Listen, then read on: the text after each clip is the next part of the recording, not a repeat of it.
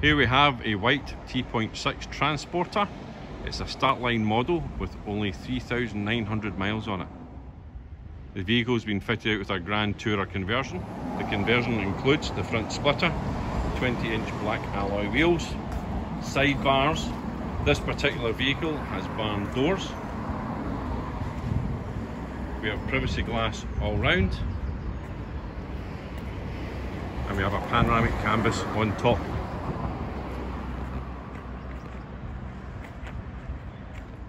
The vehicle has been upholstered in Volkswagen stone material, comes with a blade bed, grey Zebrano is the colour of the cabinets and we've put a spinner on the front double seat so it may face into the rear. This specification includes a diesel heater, a fridge freezer, gas oven and grill and a double hob and sink.